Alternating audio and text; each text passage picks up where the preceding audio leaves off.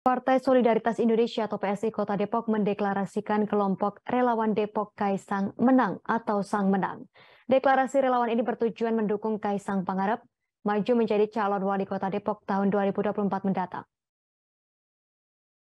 Panitia Deklarasi Icuk Pramana Putra mengatakan kelompok relawan ini juga menjadi wadah perjuangan warga kota Depok yang menginginkan perubahan pada tahun 2024 mendatang.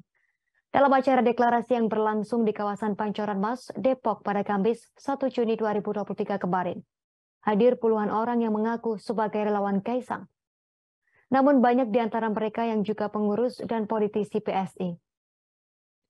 Misalnya calon legislatif dari PSI Ade Armando, juru bicara PSI bidang hukum Francine Wijoyo, serta Ketua Badan Pemenangan Pemilu atau Bapilu DPD PSI Kota Depok Icuk Pramana Putra.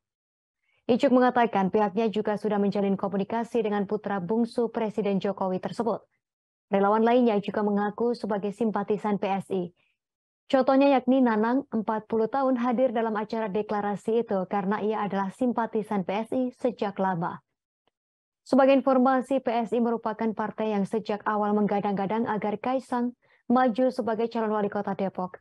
Dukungan PSI terhadap Kaisang Pangarep baru-baru ini terlihat pada pemasangan baliho raksasa di Jalan Margonda, Depok, Jawa Barat. Jalan Margonda adalah salah satu jalur penghubung utama dari Depok menuju Jakarta. Tampak foto Kaisang yang tengah memegang bunga mawar dan logo PSI. Baliho tersebut bertuliskan PSI Merang Wali Kota Kaisang. Ketua Bapilu PSI Kota Depok Icuk Pramana Putra mengatakan dukungan itu didasari oleh respons warga Kota Depok semenjak partainya menggaungkan Kaisang sebagai calon wali kota pada akhir Maret 2023. Icuk pun mengaku sudah berkomunikasi langsung dengan Kaisang terkait pemberian dukungan tersebut.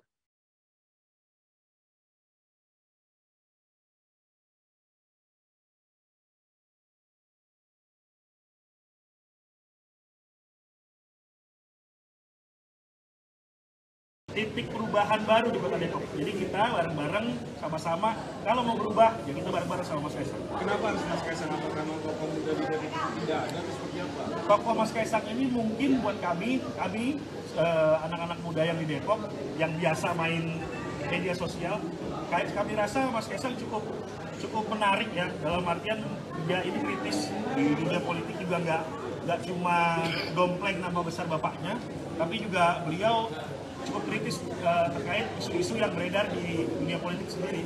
Jadi kami rasa cukup lah. Secara kapabilitas gimana? Kalau secara kapabilitas dengan manajerial perusahaannya beliau yang se-Indonesia Raya ya, saya rasa cukup untuk dan mampu untuk apa memajukan kota Depok di tahun 2020. Terima kasih sudah nonton. Jangan lupa like, subscribe, dan share ya.